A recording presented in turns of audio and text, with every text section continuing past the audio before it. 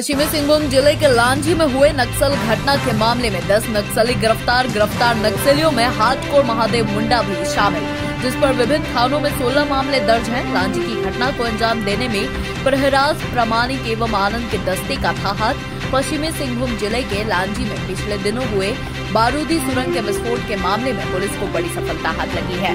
इस घटना के बाद शुरू किए गए सर्च ऑपरेशन के दौरान पुलिस ने माओवादियों के दो हार्डकोर समेत कुल 10 नक्सलियों को गिरफ़्तार किया है।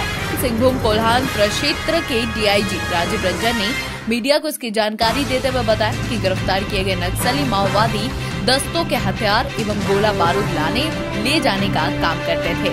साथ ही उन्हें प्लांट करने से लेकर बारूदी सुरंग के विस्फोट के काम में भी ये शामिल थे। सबसे पहले एक रामराई हांसदा जो टोकलो थाना क्षेत्र के रहने वाले हैं। इनको गिरफ़्तार किया गया। उनसे पुलिस गहराई से पूछताछ की।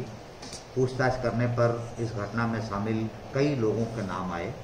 इस घटना में शामिल लगभग 10 अभियुक्त आज पकड़े गए हैं।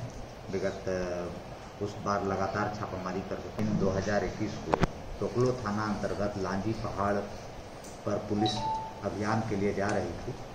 उस दौरान घात लगा के उग्रवादियों के द्वारा लैंडमाइंस विस्फोट किया गया था।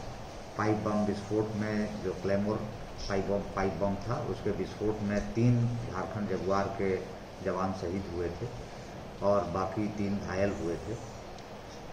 इस घटना के बाद पुलिस इसको चैलेंज के रूप में इस घटना को लिया था और इस घटना में शामिल उग्रवादियों की पहचान के लिए पुलिस लगातार एसपी के नेतृत्व में प्रयास किया जा रहा है सिंहभूम कोल्हान के डीआईजी श्री रंजन ने बताया कि लांजी के इलाके में प्रहराज प्रमाणिक और आनंद के दस्तों के सक्रिय होने की सूचना थी और सीआरपीएफ एवं जिला पुलिस की टीम ने उन्हें पकड़ने में कामयाबी पाई है Every welcome you've never known. Welcome to a journey you've never imagined. Welcome to Arabia, Saudi. दो गड्ढों वाले शौचालय के बारे में सुना है? हाँ? नहीं सुना। आइए समझाते हैं। देखिए दो गड्ढा बनाइए।